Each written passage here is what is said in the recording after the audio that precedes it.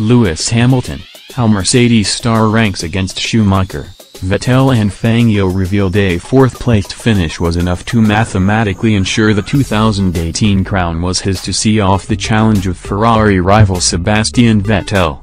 Hamilton's latest title win, his fourth in the last five seasons, draws him level with the legendary Juan Manuel Fangio and he is only behind all-time record holder Michael Schumacher with seven triumphs.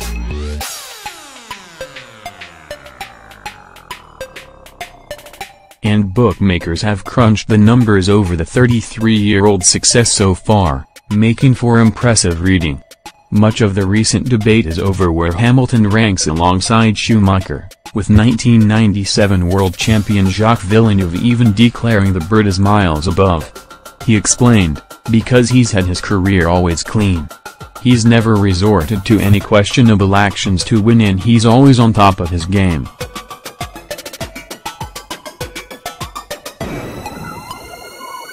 It's been very impressive.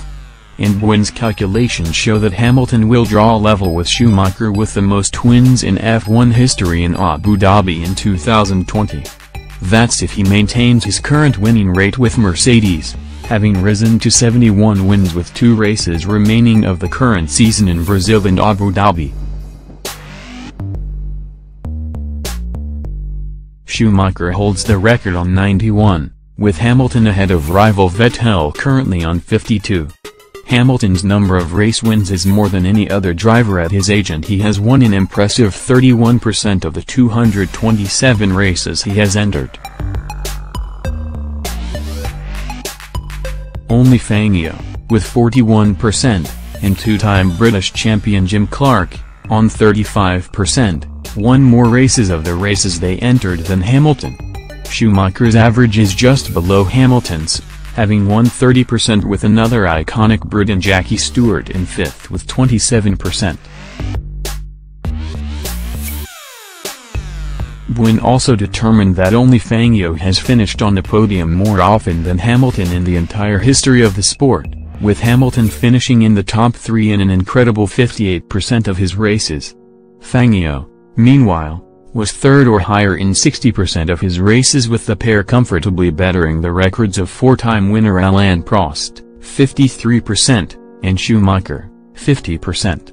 Hamilton has also finished in the top 7 more than any other F1 driver, with 80% of his races, and also in the top 10, with 85% of his races.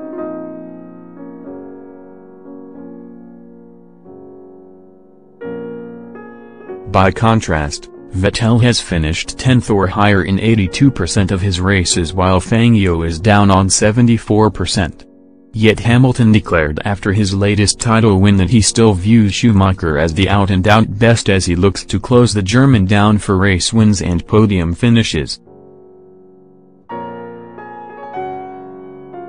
He told Sky Sports, Firstly I could never ever personally classify myself as the best. Obviously, Within myself, I know my abilities and where I stand. But ultimately, my dad always told me, since I was 8 years old, he said do your talking on the track. So I just try to let my results and the results from the things that I do outside of my sport, hopefully, also contribute to that, so people can hopefully create a decent opinion.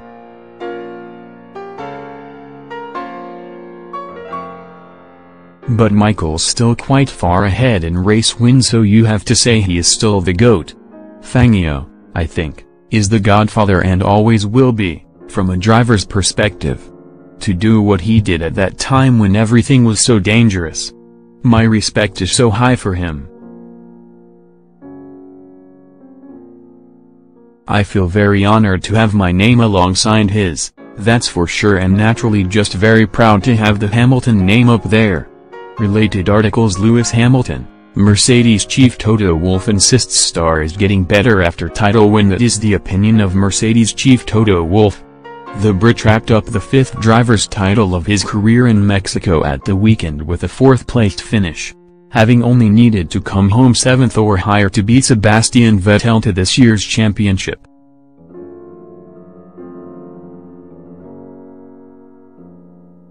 Hamilton's win sees him equal Juan Manuel Fangio on five titles, with only seven-time winner Michael Schumacher, the most successful F1 driver of all time, ahead of him. The 33-year-old has been in sensational form this season, having won six of the last nine races to steal well ahead of Ferrari's Vettel in the standings and been almost faultless all the way through the year. Hamilton was immediately asked about chasing down Schumacher but dodged such questions, including one asking whether he considered himself the GOAT, greatest of all time, following Jacques Villeneuve's claim that he is miles above Schumacher despite trailing in championships, race wins and podium finishes. And in a message to Vettel and CO as they look ahead to next year's title, Wolff believes Hamilton is at the peak of his powers and yet could even still improve.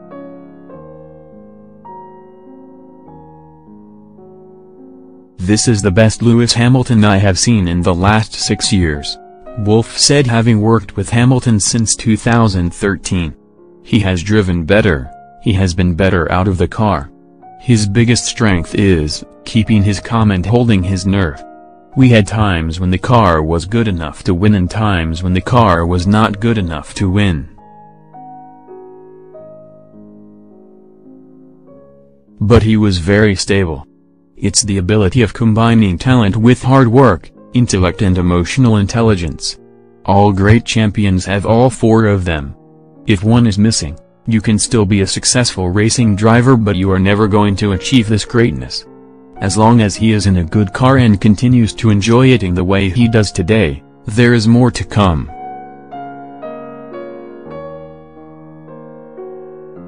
But the reason he has won the fifth championship is that he concentrates on the job in hand and does not look too far away. Because before you win a seventh there is a sixth to win, and we haven't scored a single point for that one. And Hamilton insists his season is not over yet because he wants to win the final two rounds of 2018 in order to help claim the Constructors' crown. I still have work to do, he said. I've still got to get back to the factory and rally the troops next week to figure out how we can come back and win these next races. We still have the Constructors' Championship to win, which I know will mean even more to all the guys back at the factory. So that's the focus.